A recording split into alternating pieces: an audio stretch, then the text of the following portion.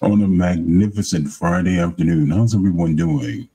Mr. Teddy Bear, and welcome to Night Traxx Radio. And today's artist spotlight, Grammy nominated singer, songwriter, entertainer extraordinaire. Lord have mercy. And she is definitely captivating.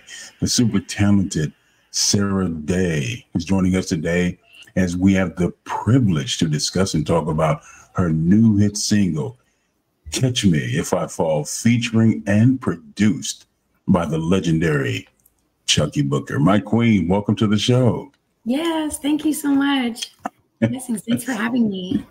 Oh, the pleasure is ours. You have been a very busy young lady, and I'm surprised with the live performances.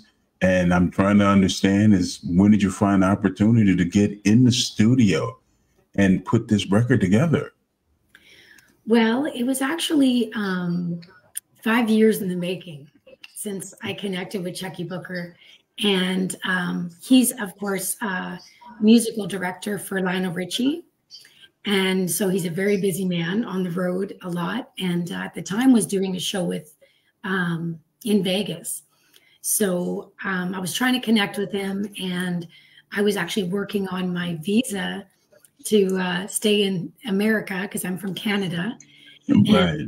I'm on a visa as an extraordinary singer songwriter. So, which is a is a big deal to you know uh, to get, and uh, it's it's a big workload too. So I was in the middle of that, and um, I, you know just trying to connect, and the timing was just all about the timing. Uh, so you know we kept on saying, "Oh, we're going to make it happen. We're going to get together," and then sure enough, he walked by uh, my booth at NAMM. I was performing at the conference in Anaheim. And uh, that's when he saw me singing live. Okay. Was like Sarah Daye. And I was like, Chuckii Booker. And, it, you know, then we were in person and he heard me live. and then it was like, okay, we got to get this session. We got to, we got to get together finally. And, uh, you know, I was coming up doing my thing new in America as well. And um, just, uh, you know, needing to have all my ducks in line, you know, I wanted before I met up with him too. So when we met, it was just perfect timing.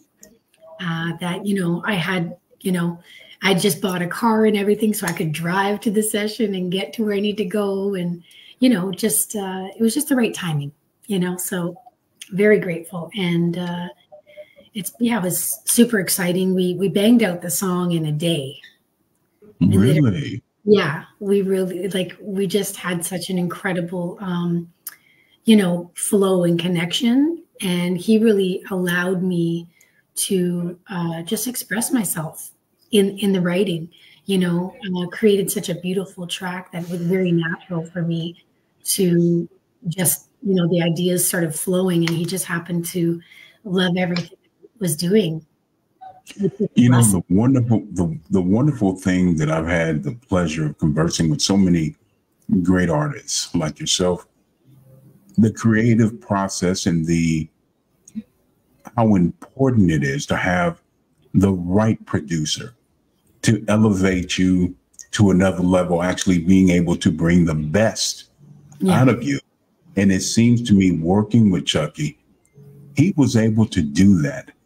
And one of the things that I love about the record is that it's smooth, but it also has a very raw, rough edge about it. And I love that. Was that your intention when you started working on the recording process, working on the new single? Yeah. Well, I mean, pretty much so. It was very natural because uh, I was coming from like a, yeah, like a, a really raw place. You know what I mean? Like just in my emotions and feeling like, you know, this whole, you know, cat and mouse thing that men and women do, you know? Right. And, um, it, I don't know. It just like, honestly, it was so natural. It just, it just like came out of me. You know what I mean? Like it just, it just was a, a flow. Like it happened so fast. Like we literally, I, you know, just wrote the first verse. What do you think about this? And he was, you know, I love it. It sounds great. You know, do it, put it down, you know.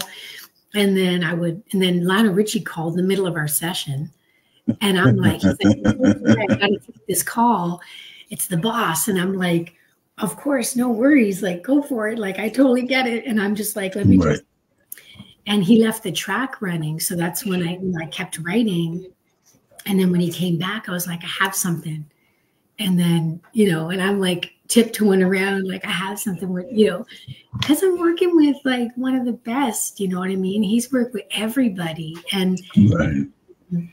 I was so honored and touched uh, that he, you know, felt so confident in me to to let me just do my thing and um and so then i wrote like the spoken word kind of parts you know and came up with that kind of vibe and, and he and he just really was like you're dope. Like this is you know i love it. Put it down you know and it just kind of flowed like that. Um of course he had the idea created the track which was so beautiful. When you have a producer that arranges it you can hear the melodies almost you know what i mean? Like it just kind of naturally came and uh and it was just it was a really beautiful experience. I've never worked with someone who like you said just you know brought it out in me allowed me and really just gave me a platform. Just was like go for it you know and um the, the chorus of course um you know that was the idea catch me if i fall. And uh, the the intro he had as well that that cool little part.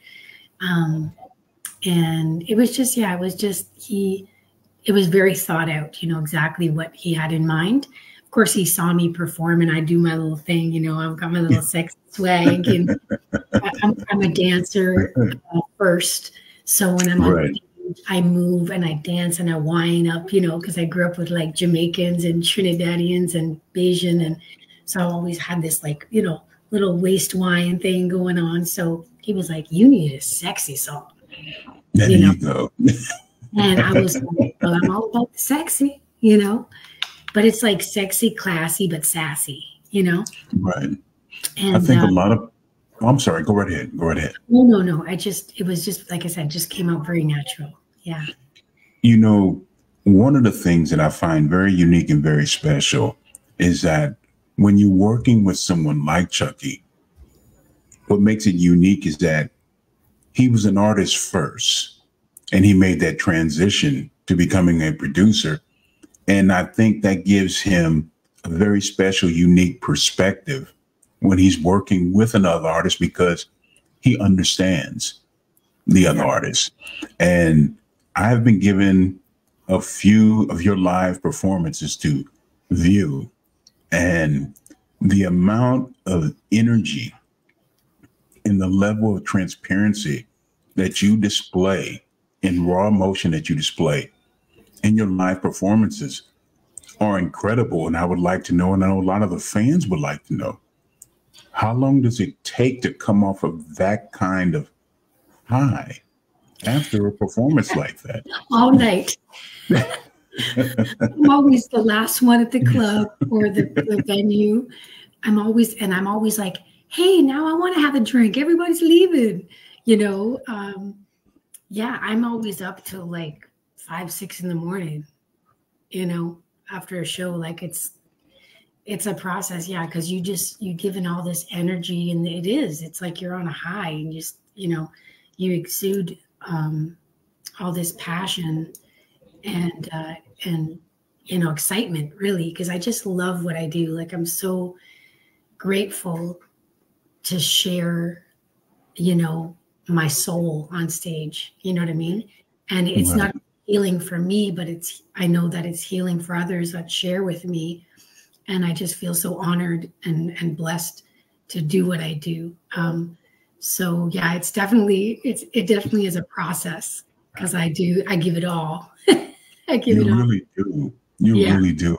You know, in the words of the late great Walt Disney, he used to always say, "It's a small world after all." And speaking of that, you've had an you've had an opportunity to travel around this globe and perform.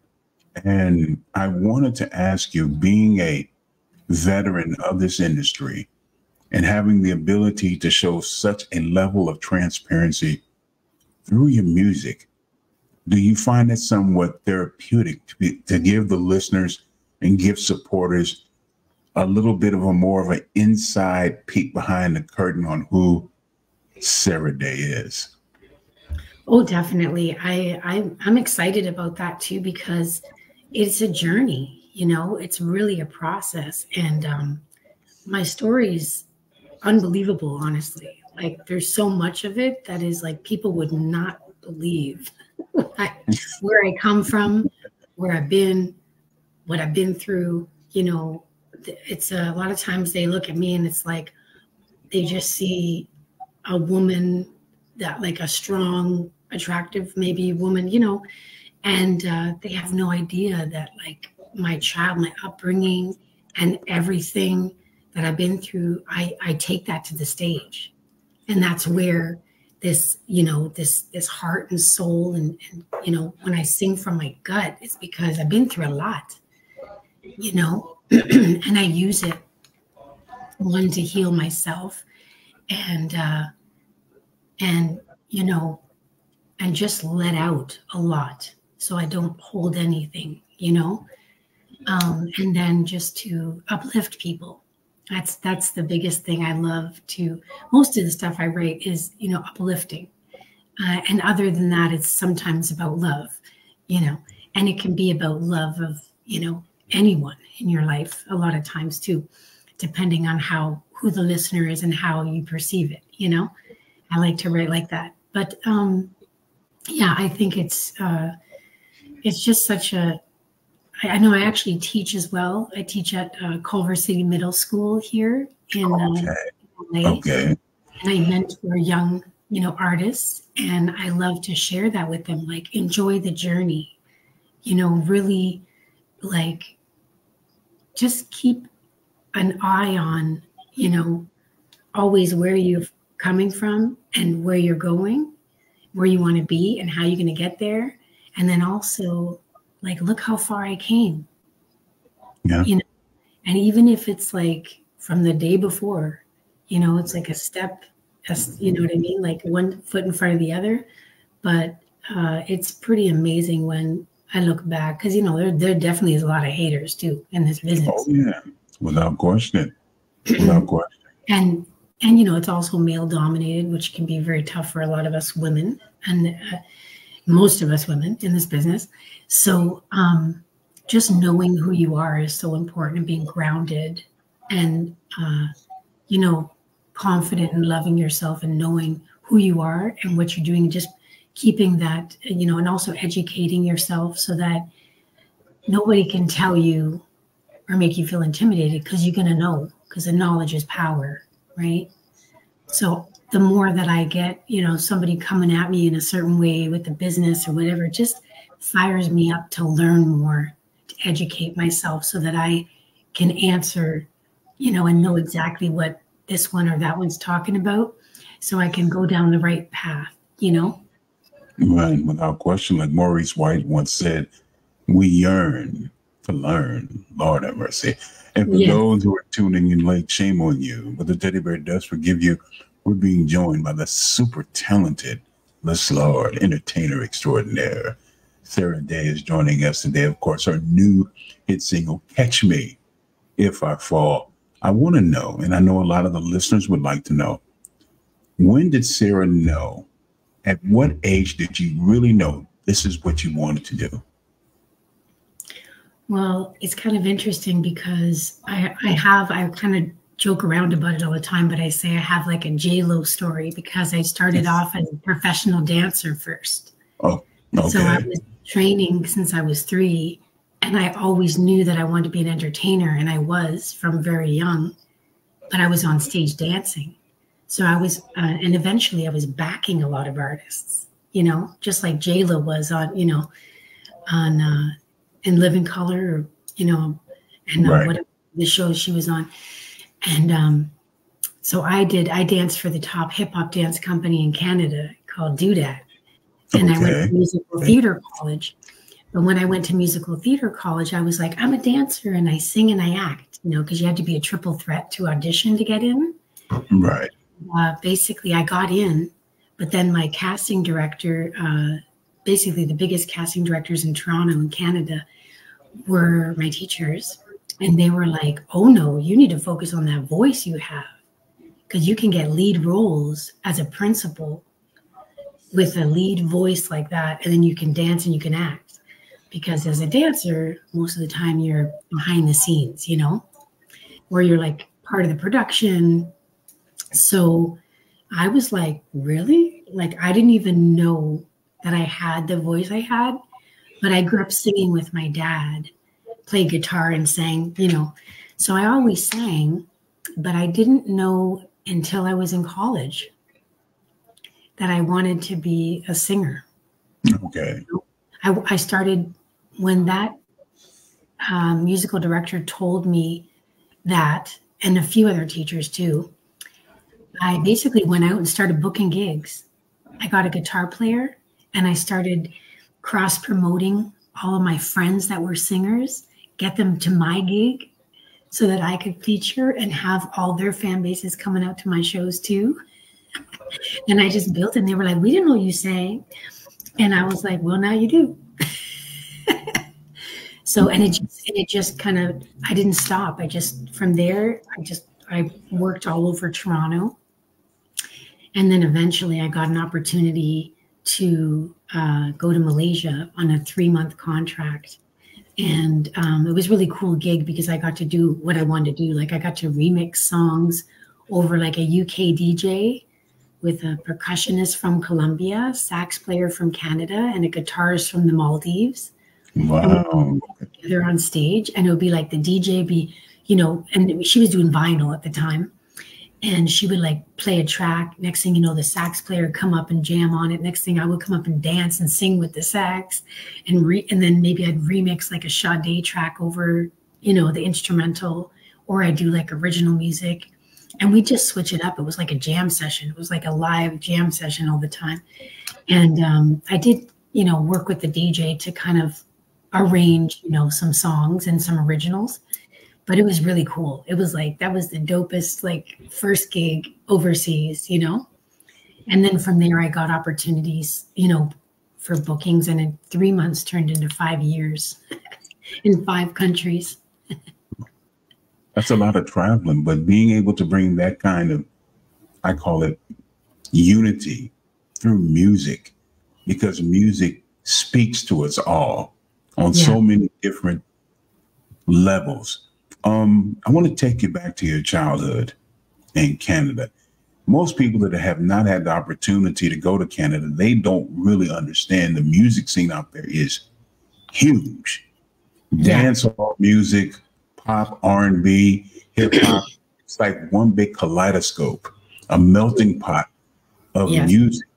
But you decided to leave and come over here to the States. And I wanted to ask you, have they been more receptive here in the States than they have been as far as Canada, as far as the audience, the record buying audience, since we've changed so dramatically where everything is streaming now, where we no longer have music stores anymore? Right. Well, honestly, um, I've been gone from Canada so long because I left for Asia. I went mm-hmm. over there and I came right to America. I didn't wow. really, I didn't plan to come here. Um, it just kind of happened. I had a friend that was, uh, you know, in LA saying, you gotta come check out LA, you know, you know, and I was overseas and, you know, it's tropical paradise over there. so I was like, I can't do the winter anymore. I wanted to move to New York because uh, I just love New York vibes and, you know, right. like those vibes and the music. Um, you know, the R&B, the funk, the jazz coming out of New York. And and just the whole scene, the East Coast, you know, vibes. But I could not do the winter. I said, that's it, you know. And I said, let me check out.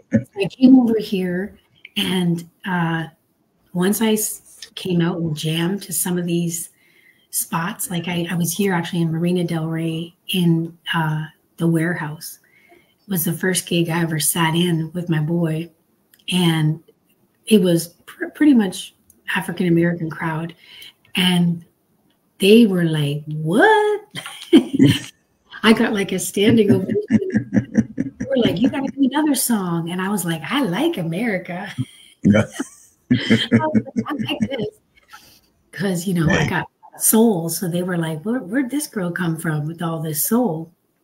You know, so, but I mean, I love Toronto. I'm born and raised there. I feel so grateful for the culture that I was raised around because my building that I was raised in was Jamaican, Trinidadian, Guyanese. We'd have like Punjab, Indian music, Punjab, and then mm-hmm. hip reggae, dance hall off the balconies because I was in like apartment building. Right. Apartment building you know, kind of government housing vibes. Um, my parents divorced when I was young, so you know, it was it was you know, I was in the hood. It was a hood in Canada, but it's still different. But it's still, you know, and uh, the music just influenced me so much. Then my parents both had like, you know, amazing record collections, Motown and all that. But yeah, the industry. I mean, you know, there's just so much talent in Toronto. I was surrounded by incredible singers. I was surrounded by incredible musicians. And I feel like even as me as a dancer coming up, I would be live at their shows, dancing right in front. My ears were just soaking it up. You know what I mean? So I feel so blessed that I was raised there. And, um, you know, the music industry, yes, has changed so much. Uh, but as you know, Drake put us on the map on a whole next level, you know? And uh, there's so much going on there. Yeah, it's, it's a beautiful thing. I'm definitely looking forward to doing stuff more back home and connecting again. You know, I, I went back home to do my single release because uh, I wanted to be there for my birthday and then be just be with my family and friends and people that saw me come up and be in my city because it's where I'm from. I'm so proud and I definitely represent um, but yeah, it's it's it's, it's a whole different uh, ball game now.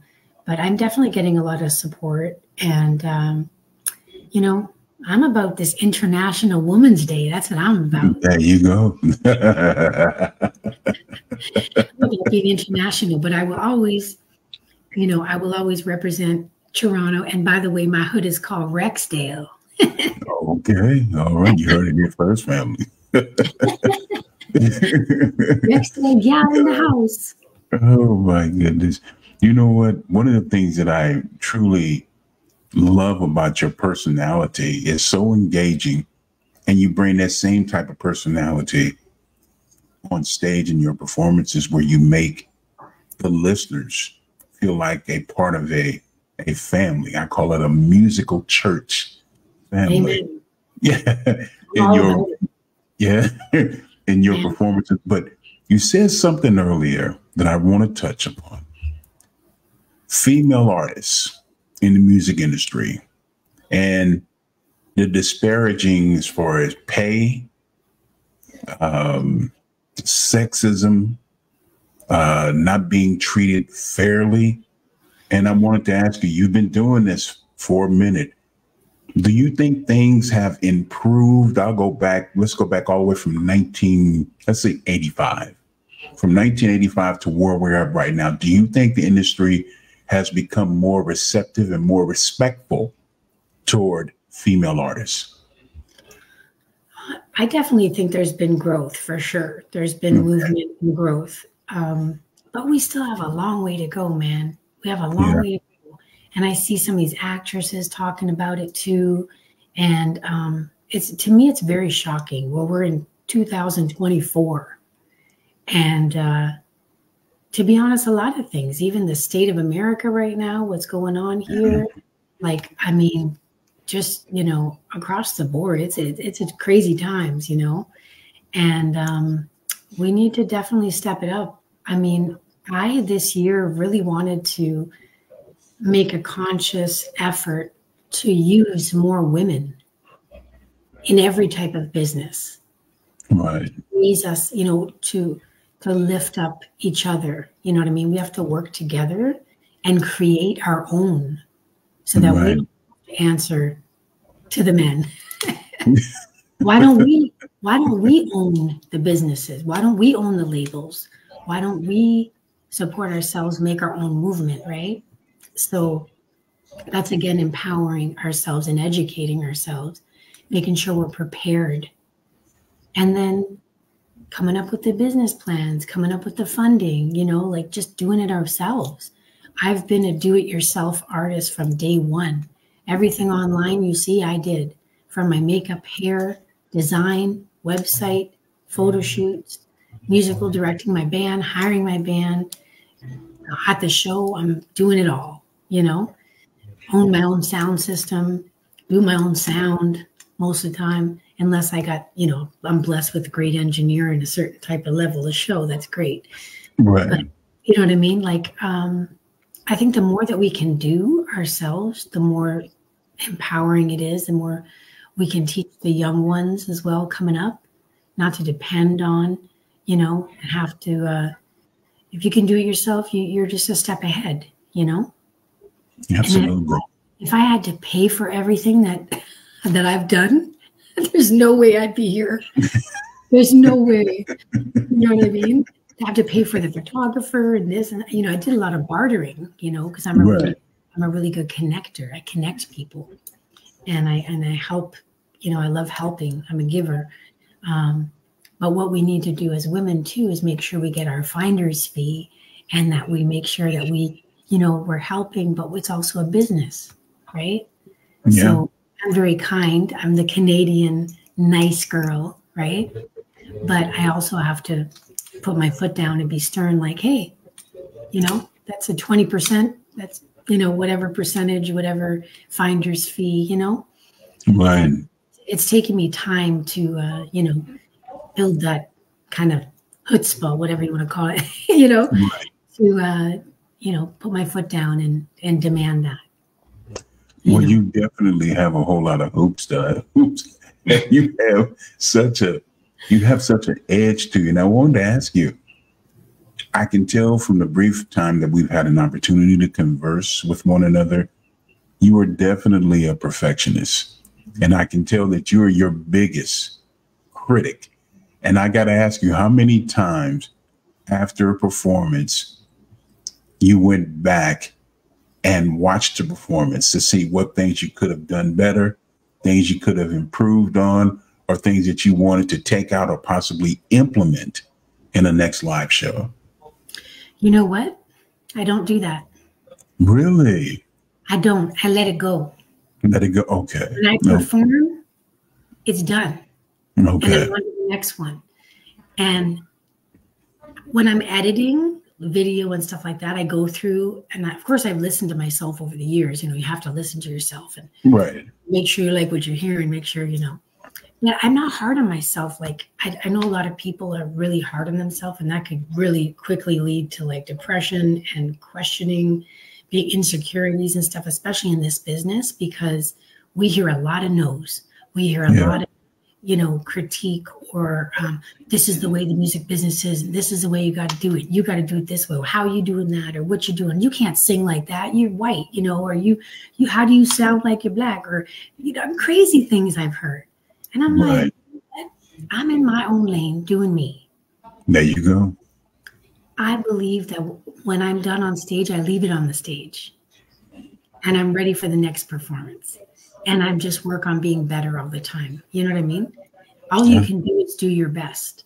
So every, I know that I give my best every time because it's important to me for that the person to have the best experience come into my show and that I can bless them. And I'm just really, like you said earlier, very raw with it and very truthful with it.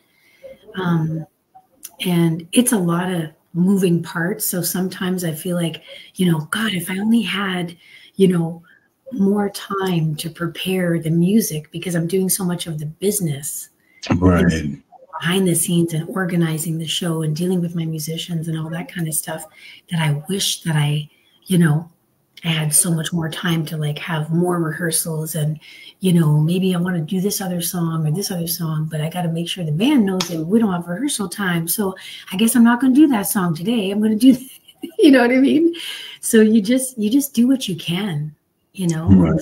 good about it. Like I just, I don't know. I think that I'm very, very, I'm very grateful that I'm very blessed to have a very optimistic, naturally optimistic um, outlook And since I was a kid, I've been like that because I was always like, I'm not going to stay in the hood. I'm not going to get pregnant at 15. I'm not going to, like, you know, become an alcoholic. I'm not going to. And it, it just, all those things gave me more motivation to be better. Right. So I've always used that, you know, those kind of things. So even if I see I make a mistake, I don't make, I don't, I don't get hard on myself. I'm just like, okay, I made a mistake now I'm going to just try not to do that next time. You know what I mean? Right. What do I got to do? So maybe I need to breathe more. I need to practice. You know, maybe I need to warm up more. Maybe I need to speak less before my show. you know what I mean? Maybe I need to like sleep more. Right. you know, you just do what you can, you know?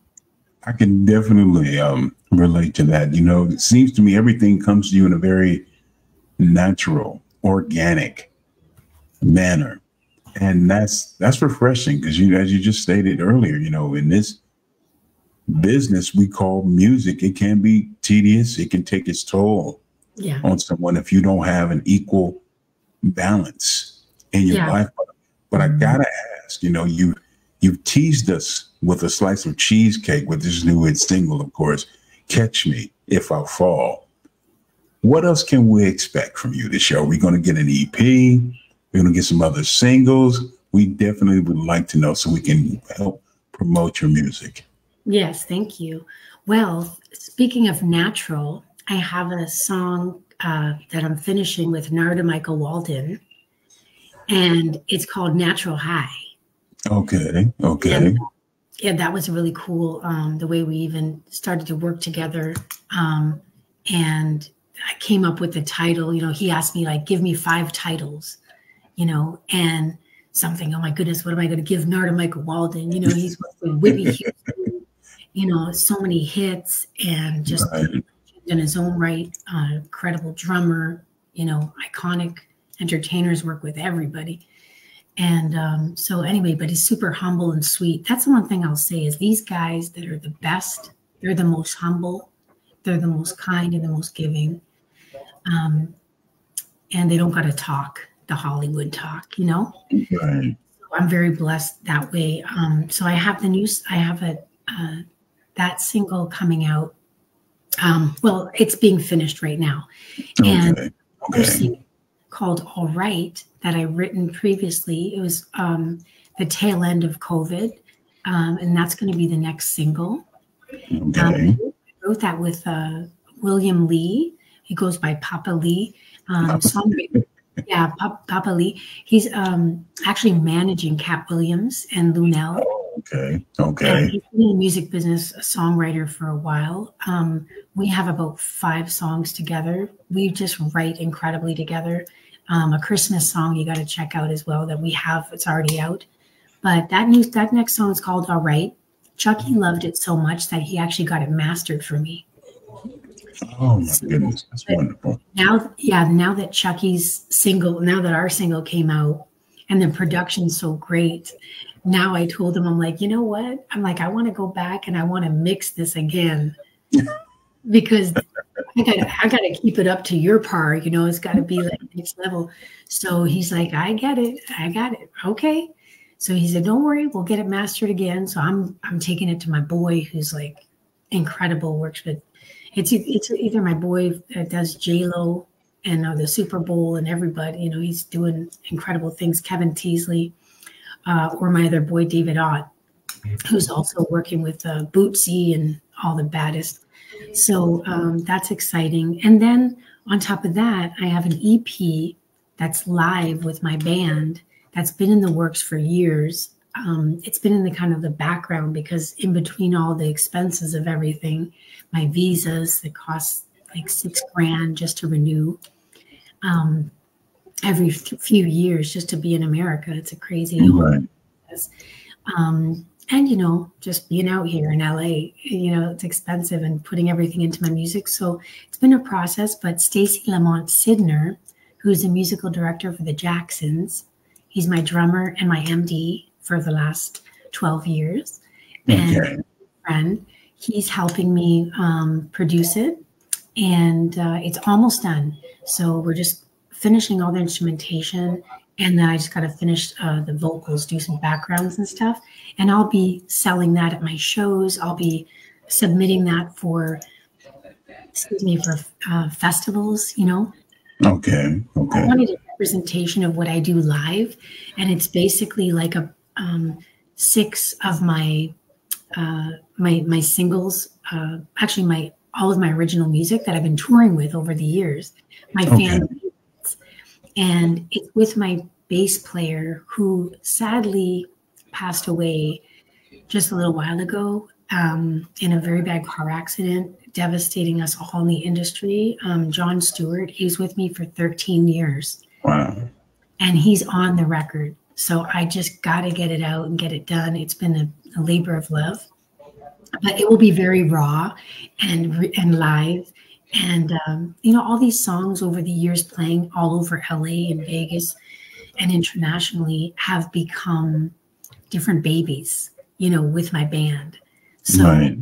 I'm putting that out as well. So there's lots of good stuff coming up. I'm really excited. And, and Chuckii and I are about to go back in the studio and do a few more, and we're going to do like some funk. do some. Wait, I'm excited. You already know. You already know. Oh, my, I can tell that's going to be a very magical experience, but I want you to consider this home. This is your home away from home. Whatever you need, please don't hesitate to Thank let you. me know. I have all the love and respect for you. I know it is, people don't really truly understand the challenging aspect of being an independent artist because it works both ways because you have you have complete control over your career, over your music. The buck stops with you. But also, as you said, a lot of times you get so caught up in the business aspect is that a lot of times it, it's not enough hours in a day to really do everything. Yeah, that sure. you need to have them. But that's why I'm here. So no need to fear. We we got you. And to get all the latest updates, make sure you step by Sarah's official website. That's at sarahdaye.com at the website. Her music is there to purchase. Also, you can connect with her on all her social media outlets. It was an honor to have you on, my queen. Thank you so much. I really appreciate it, all the love and support. And I'm excited. I will be sharing as well. And I'm also uh, sending Chuckii Booker your way. Okay, well, we appreciate. We would love to have him on. I know my uh, program director was telling me when he said, "Hey, look, you really need to check out Sarah." I said, "Sarah, who's Sarah Daye?" I said, "She's bad." I'm like, "Okay." He knows how I am, and he uh, sent me over some music. I said, "Oh, she can wobble. She can. She she has some. She can." she has. said she has some pipes on her. I said, "Okay." Then I'm seeing the the performances, and I said, "Oh, she has a little bit of a, a Stevie Nicks kind of vibe in her yeah. performances." But then the thing that got the thing that really got me, it really resonated with me, the level of passion that you sing with in your live performances. That's what separates the good from the great when you're able to have people in the palm of your hands and bring them along with you on that ride, it is such a rush. It's an incredible rush. And you have been able to do that. That's why I say I see nothing but great things from you in this new year. So I want you to do what you have to do, make that funk. We Thank got you. you. We will definitely promote it. So don't even worry about it. Okay. Thank you so much. And then just the last thing on Monday, I just was on stage. I got pulled up by Bobby Brown. Really? My prerogative. It was so crazy. He heard me sing. I was off to the side. I was working uh-huh. with my MD, and he was going to call me, uh, call me up, and I was going to hand the microphone to Eric Benet. I was waiting for the opportunity, and all of a sudden, the cats were on stage and they were playing like a cover.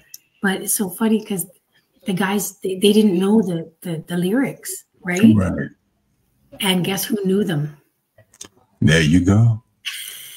so I sang, and next thing you know, Bobby was like, he was like, get your ass up here now, girl. Get your ass up on the stage now.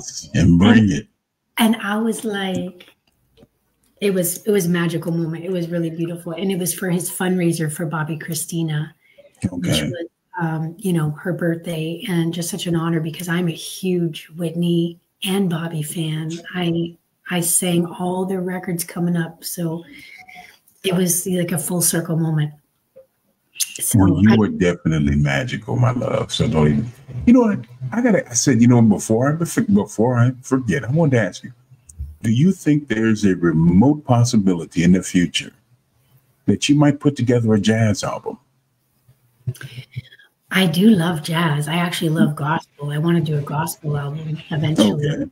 Um, but um, I don't know. I'm not a straight ahead. I'm more of like a soulful. You know, I, right. I, I do want to bring jazziness to my set. You know, but um, I don't know about a straight ahead jazz, but uh, but the EP is going to have like, you know, some jazzy, bluesy, even like a reggae vibe in one of the songs. Okay. Um, just like all my influences. So, okay. You know what? I say never say never. Who knows? Right, That's the beautiful thing about this industry. You never know where it takes you. You know, if an this opportunity comes up and I get some major, you know, jazz opportunity with a producer that's like I want to produce you and, you know, like work with you or whatever, some major name. Who knows? You know, you never know. This is but true. I love jazz. I love, you know, I love the bluesy stuff, you know. Uh-huh. Well, you definitely, you definitely have the temperament for it. You definitely do. And family, be sure to get the new hit single. It is available. Catch Me If I Fall, featuring and produced by Chuckii Booker. It's available right now on Apple, and if you're feeling a little bit more adventurous, you can always head over to Amazon.com and be sure to add it to your Spotify playlist. Thank you yeah, so much, my queen. Yeah. All right. Safe and many blessings to you, my love. Okay. Thank you so much. God bless. and here. thank you for all you're doing for all of us artists. It's wonderful. Oh, it's my pleasure. It's my pleasure. The very super talented Sarah Daye here on Night Traxx Radio. I want to thank everyone for tuning in and allowing the teddy bear to help you tune out all the negativity on this wonderful, fantabulous Friday afternoon. But hey, we're not done yet. We got a very special show for you tomorrow, of course, Saturday night. Oh, mercy. Saturday night, March the 9th, 8.30 p.m. Eastern, 7.30 p.m. Central, and 5.30 p.m. Pacific. Soulful singer, songwriter Charles Gator Moore will be joining us tomorrow. So be sure to tune in so we get you covered. It's definitely going to be a very sexy and very smooth evening. And for those who missed the interview, no need to fear, we got you covered. You can look at and check out the interview in its entirety on a YouTube channel. There's a youtube.com forward slash night traxx radio with two X's. That's on YouTube. And also, you can be sure to subscribe to the channel while you're there. It's always important. Also, we're on TikTok, same handle, Night Traxx Radio, two X's. The same for Instagram, and also the artist formerly known as Twitter. We're on X, also on X too. So make sure you tune in to get all the latest updates, which are important. I want to thank everyone once again. We look forward to seeing you live on Facebook Live tomorrow night. And as in always, Keep it soulful here on Traxx Radio. God bless.